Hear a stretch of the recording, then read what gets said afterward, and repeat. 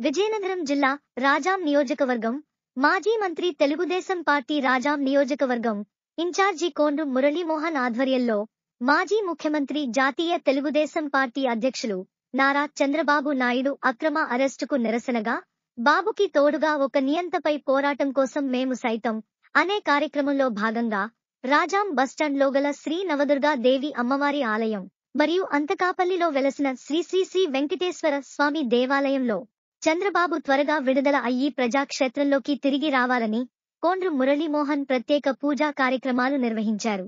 ఈ కార్యక్రమంలో రాజాం టౌన్ ఇరవై నాలుగు వార్డుల నాయకులు కార్యకర్తలు రూరల్ రేగిడి సంతకవిటి వంగర నాయకులు కార్యకర్తలు అభిమానులు పాల్గొన్నారు.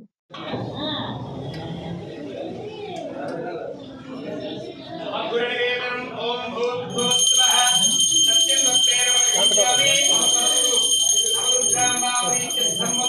Buna, buna.